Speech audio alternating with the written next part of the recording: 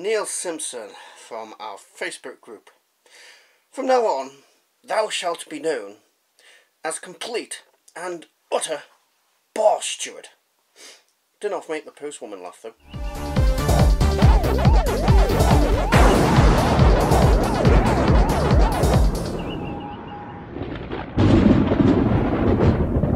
Right, hello and welcome to the Geek Club. And yes, Neil Simpson, you bar steward, uh, calling me Lord Bum Twitcher Stephen on the uh, address to this uh, parcel. Didn't half make the uh, post lady laugh, uh, but bit of a surprise, you bar steward. But anyway, yes, Neil has sent me this uh, box full of goodies. In here are some projects and some stuff for future reviews, so you're going to get a little idea of what's going to be coming up on the channel as I unbox this. So I'm going to leave it there, open it up, pull the stuff out, and show you in front, hopefully. Uh, so, let us crack on. There is even something in here that has been he has made himself using a 3D printer because uh, just before Christmas Neil who is making doing the uh, build your own 3D printer got ah, got his well wept got a little bit impatient and bought himself a uh, a cheaper 3D printer uh, from Gearbest I think it was and he's been playing with that got its own stories but uh, Yes.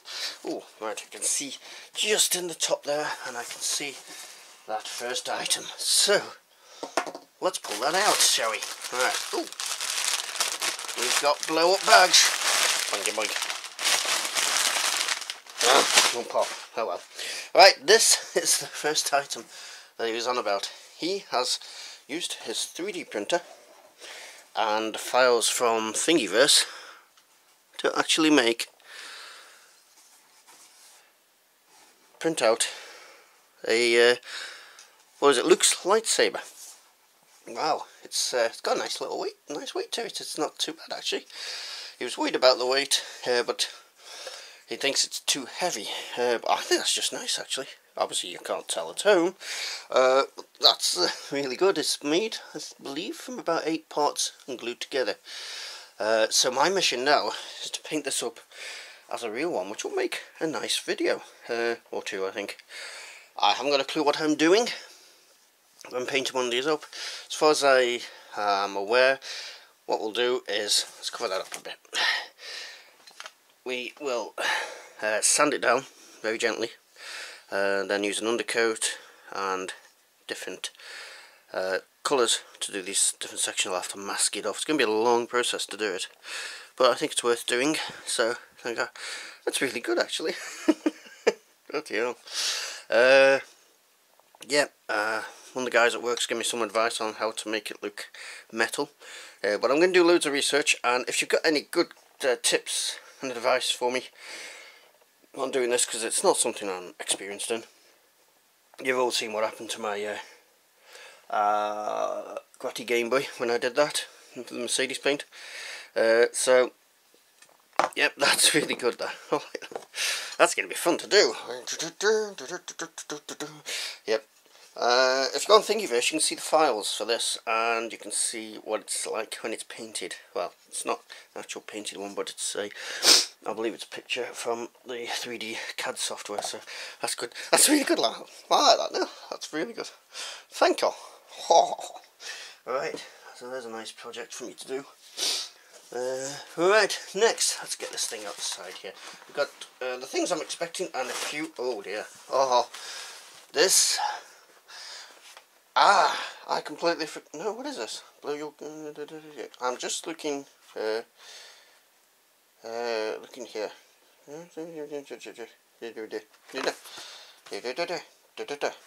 Right, here's included this, which is the Ultimate Cheat System for... Oh yes, it is the PlayStation one.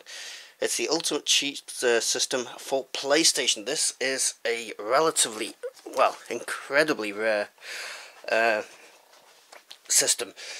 It's the professional version. It goes onto the PlayStation and allows you to hack the games. It's got loads of codes included and stuff. Uh, this will make a great video. Uh, yeah, wow. The thing with these is they're they are rare because they're aimed more at the developers market because uh, sorry the review market people who actually reviewed the games because these cost almost as much apparently as the consoles themselves. So there we go. Xplorer is the number one best-selling cheat cartridge in the UK. Using the most advanced coding system available, Xplorer FX Pro now makes you stronger, faster, greater than ever before. New Cine FX features get the most from your complete game collection. Choose one of the 2000 plus cheats already preloaded, or find your own unique codes for those favourite games. Xplorer FX Pro is also compatible with other cheat codes, and new cheat codes are available through your favourite magazines, exclusive Xplorer codes hotline, or the dedicated Xplorer website. I wonder if that website's still going. If not, there's probably some on the internet somewhere. Uh, but it is incredibly rare. Uh, let's have a quick look at it, shall we, while we're here? No, It's taped up. Nope, not on that side. Let's have a quick look. Yeah, you do need the... Ow! Ugh. You do need the right uh, PlayStation version. It's got to have this adapter. There you go. so that's going to make a good video, I do believe. Although never mind, look, I don't have the right PlayStation, I'll have to go looking for one. Uh, I will put an annotation, I'll have a quick look after and put an annotation to find out uh, as to whether I do or whether I've got to track one down. Oh, come here, get in there, you bugger. So there we go. Right. You can see something sitting there. We have Road Rash. Oh God, yes, I've uh, mentioned this before. Road Rash 3D. He sent me Road Rash 3D for the PlayStation. I guess this is going to get a review, that review video. I've never played it. I've heard of it, seen a few videos of it a while ago, but I've never played it. So, Road Rash 3D. Ha ha ha ha. Thank you very much, Neil. That will get played and reviewed. And there's a NES cartridge. Duck Hunt! Yay! he said he got a few copies of Duck Hunt. Uh, way this came about, we were looking at uh, Zappers for the NES when we were at Replay, uh, but they were a bit overpriced. Uh, so he says he'd, look, he'd have a look out for one, but uh, he didn't say he was going to send me a Duck Hunt in the meantime. so there we go, Super Mario Brothers and Duck Hunt. Cheers, Neil. Alright, what we got here? Ah, crafty. Yes! Some, uh, I forgot what you call it now. Masking tape, yes. Yeah, uh, that, that may seem random, but masking tape is used on the 3D printers to cover the bed to make it easy uh, to remove stuff off the bed. So that's what that's for, and he found some cheap. So he did mention something about it, but I wasn't expecting to send any. So I'm just leaving this thing in here, this thing here for last. Some of you may recognise that already, some of you may not. Hopefully you don't. Right, something has come out here. What's this? Uh, it is a video card. Uh, product of Mexico. Do, do, do, do, do. I'm going to have to ask him what this is. Oh, it's 3DFX card. Uh, I wonder what this one's for, what he sent it for. Uh, it could be for the Amstrad. I do not know. I'm going to have to ask him on that one. Uh, do you know, can't remember what he said this one was for, but uh, 3DFX, I don't know which model. no, why don't they ever put the model number on these? Well, perhaps they do, and I'm just too stupid. 3DFX Interactive, tested in Germany for home or office use. So, thank you very much. Uh, I'll ask him, and I'll probably leave an annotation on the video as to what that's for. Uh, probably something I've mentioned in the past, but completely forgotten. Down here we have, aha, Midway presents Arcade's Greatest Hits. Paperboy, Gauntlet, Road Blasters, Crystal Castles, uh, Marble Madness, Millipede, over Midway on the old PlayStation. Ah, Road Blasters. I think, can't remember, I think we did a video on a Road Blasters uh, arcade machine at replay that I've still yet to put up. Millipede's one of my favourites. Never played Crystal Castle. It's alright, I've just had lunch, I'm trying not to bloody belch. Uh, Paperboy, yeah, that's uh, Madness.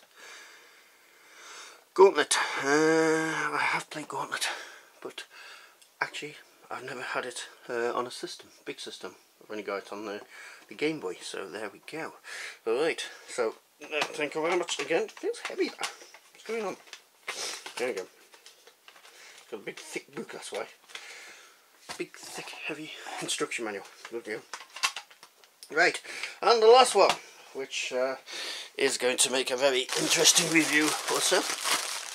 Padded away in photo padding here. Some of you may recognise it, hopefully not. I'll just take the box over here and release the beast. This is the one. I just untie it. The only, the legendary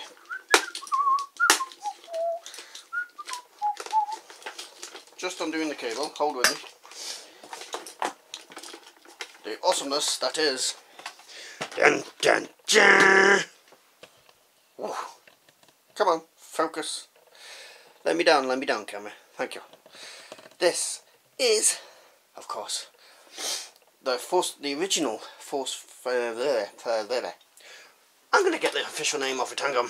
The Sidewinder Forced Feedback Pro. I forgot about that. I forgot the name.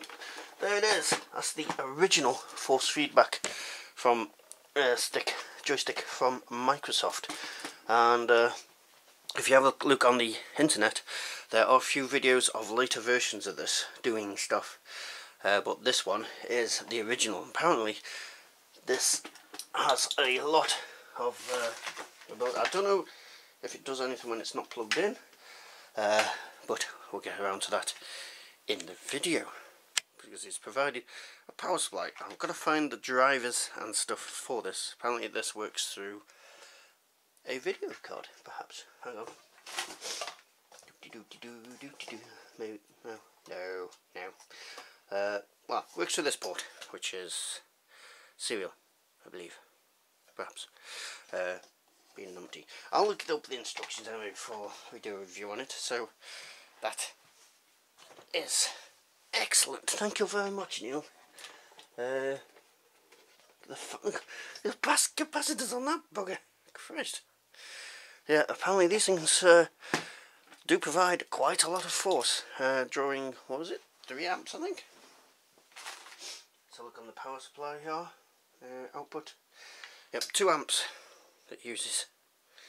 So yeah, it's got a bit of a kick to it. So there you go. That's uh, that's all that stuff. Let's uh, put some of this stuff back into shot. Forget that.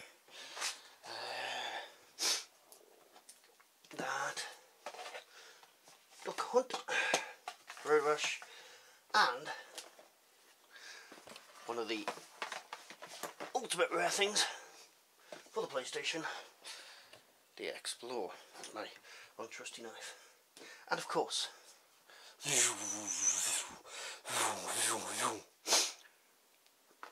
the lightsaber, handmade, and will be hand painted.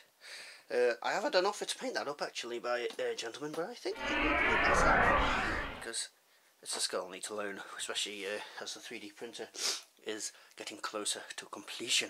So, there you go. And it just remains for me to say thank you very much to Neil. And uh, if you've not seen these videos before and want to subscribe to my channel, please subscribe and you'll get to see these things reviewed and these projects done over the coming months.